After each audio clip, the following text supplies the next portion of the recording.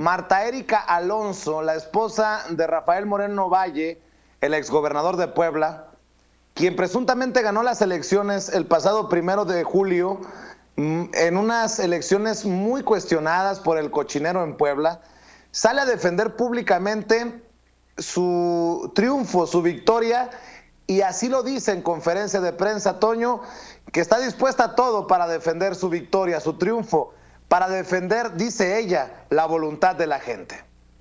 En estos seis ejercicios se comprobó una y otra vez que los resultados son consistentes entre sí. Y quiero recalcar el que son consistentes entre sí. Y que la diferencia siempre ha sido, desde la noche del primero de julio hasta el reconteo del voto por voto, casilla por casilla en el mes de septiembre, por más de 100 mil votos.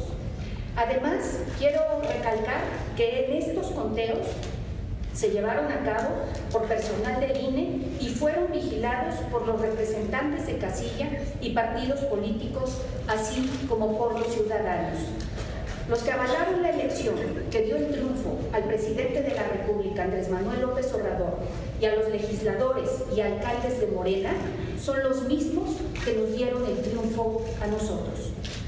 Cabe destacar que en el voto por voto, casilla por casilla, que ordenó precisamente el magistrado José Luis Vargas, con decenas de funcionarios del Poder Judicial Federal y representantes de todos los partidos políticos, arrojó los mismos resultados obtenidos en el primer cómputo y en el recuento total realizado en el mes de septiembre.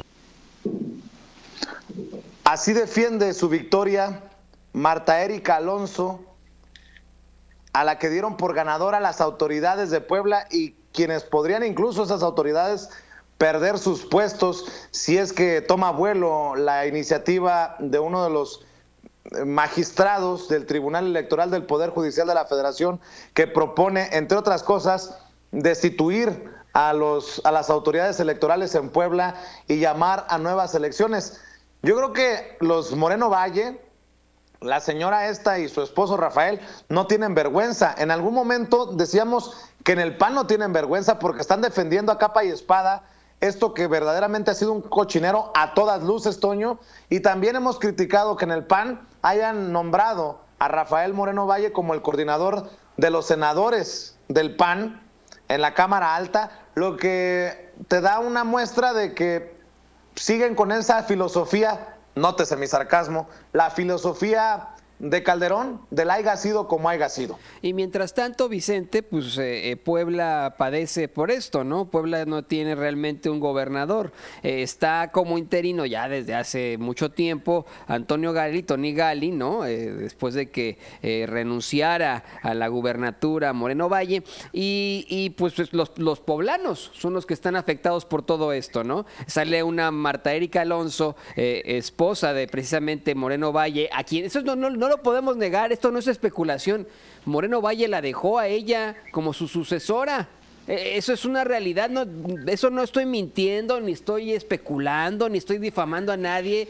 Rafael ni estás exagerando. No, ni estoy exagerando. Rafael Moreno Valle, como, como si fuera también de la realeza, dejó a su esposa como su sucesora en, la gubernatura de Puebla. Eh, supuestamente ganó ella en una elección llena de irregularidades, con una serie de acusaciones, eh, en una elección que no pueden dar por concluida, que sigue teniendo impugnaciones tras impugnación tras impugnación, y por mientras disculpe usted. Mientras tanto, los, eh, los poblanos pues se, enfrentan a las de Caín. Los poblanos están así de, bueno, pues ¿qué, gobierno tenemos aquí?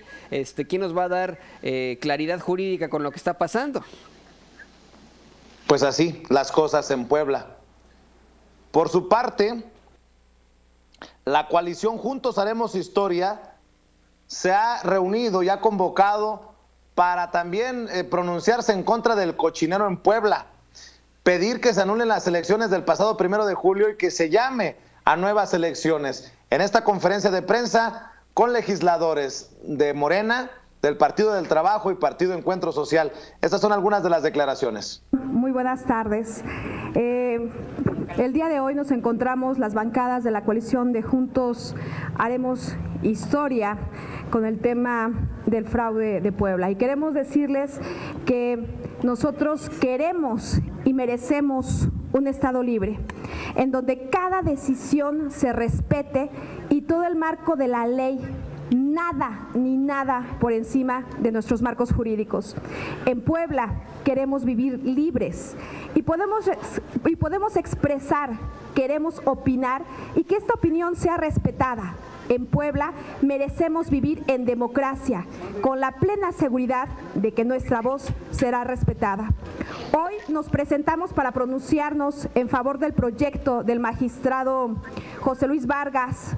Em, estamos seguros que la votación del resto de los magistrados y magistradas será en el mismo sentido y debemos actuar como ciudadanos, lejos de partido, de intereses personales. La elección del primero de julio arrojó un sinnúmero de irregularidades y confiamos que la decisión versará en la anulación de la campaña. Puebla debe tener un gobierno legítimo, ciudadano y apegado a la ley. En la coalición Juntos Haremos Historia estamos seguros que habrá justicia, que las instituciones respetarán el marco que nos regula y que los y las poblanas podremos elegir en nuevos comicios el gobierno que merecemos. Le cedo la palabra a mi compañero Guillermo Arechia. Ah, Saúl Huerta, perdón. Señores de los medios, muy buenas tardes. Muchas gracias por su presencia. Eh, la coalición Juntos Haremos Historia, los diputados federales, tenemos claro que el primero de diciembre México habló y en Puebla no podía ser la excepción. Ganamos 14 de las 15 diputaciones federales, ganamos la mayoría del Congreso local ganamos las ciudades más importantes del estado de Puebla, como San Martín Texmelucan, la misma ciudad capital, Tehuacán, Acatlán, Zacapuastla, Huauchinango. Pero un fraude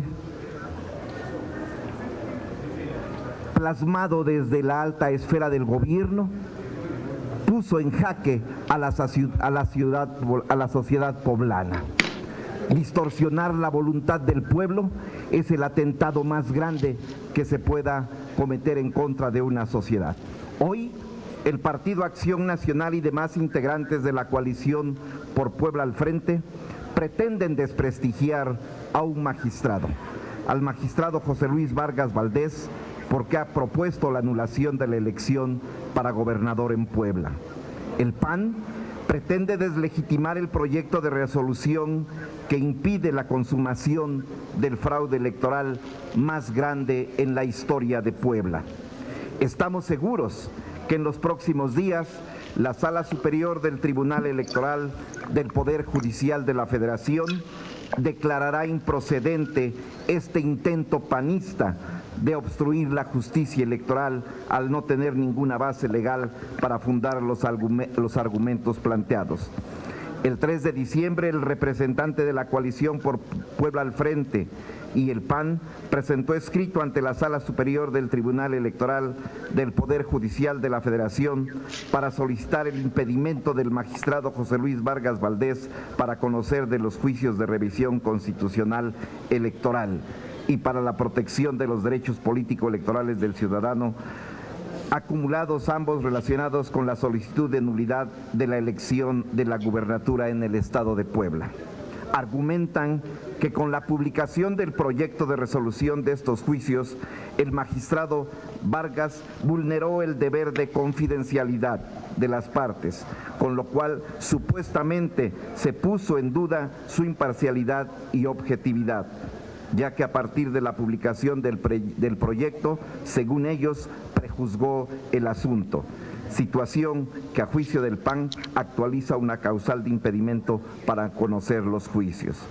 Las consideraciones expuestas por el representante de la coalición y el PAN son incorrectas y por tanto insuficientes para que se declare impedimento al magistrado Vargas Valdés. Por un lado, no existe previsión expresa de causal de impedimento la publicación de proyectos de sentencias. Por otro lado, la publicación de Déjame decir algo, Toño. Mientras escuchamos, mientras vemos la conferencia de la coalición Juntos Haremos Historia, que buscan que se anule la elección del primero de julio y se llame a nuevas elecciones. Imagínate, Toño, que se anulen las elecciones en Puebla. Y si verdaderamente se investiga y en el cochinero sale embarrado Rafael Moreno Valle, ¿qué pasaría? No pasaría nada, Vicente, porque tiene fuero. Esa es la otra parte del fuero. No pasaría nada. Se le podría convocar, bueno, eh, enfrentaría en todo caso lo que se le llama un juicio de procedencia si alguien lo acusa de tal, ¿no? El juicio de procedencia para que le retiren el fuero, de ser declarado culpable, eh, le quitarían el fuero. Y no solamente eso, Toño. Te lo menciono porque el PAN le ha dado el poder a Rafael Moreno Valle ahora es coordinador de la bancada en el Senado. Y es un hombre muy cercano a Marco Cortés, el nuevo presidente del PAN. O sea que se caería a pedazos el PAN. No, no, no creo, Vicente. Eh, te digo, si de pronto se cae la elección en Puebla, ellos también pueden impugnarlo. Y va a ser, eh, ¿cómo decirlo? Eh, el, el circo de nunca acabar, ¿no? El cuento de nunca acabar. Ahora, y eh, entre las patas, el poblano, como tú lo dirías, ¿no? el ciudadano poblano. El, ciudadano poblano, ¿no? Este, sale, es el único que sale perjudicado. Ahora, solamente si Moreno Valle sale ahí como uno de los principales artífices, ¿no? Pero, a ver, hay, hay gente ya eh, arrestada, acusada formalmente de irregularidades electorales ahí en Puebla, pero como siempre pasa, son los que, los de abajo, eh, los, ah, pues vamos, no son los, los, meros meros. Los achichincles. Así es, son los achichincles y nunca enfrentan a la justicia los meros meros, ¿no? Entonces lo veo dudoso, ¿no? Me parece muy dudoso que Moreno Valle vaya a enfrentar la, eh, a la justicia. Lo que sí veo como algo, pues algo que puede llegar a pasar, y esto, puede, y esto suena a especulación, esto es especulación, señoras y señores, es que Moreno Valle va a seguir eh, aumentando este poder que tiene todavía en el PAN y y verdaderamente, Vicente, no te sorprendas si en seis años él es el, candidato del PAN, él es el que va a estar ahí eh, pues enarbolando todos estos valores conservadores, eh, por fin va a poder él tener esta... Este, ser parte de, pues la, la, contienda electoral y buscar retomar el poder con ese PAN que suena también mucho a PRI. Así es, Toño. En otras noticias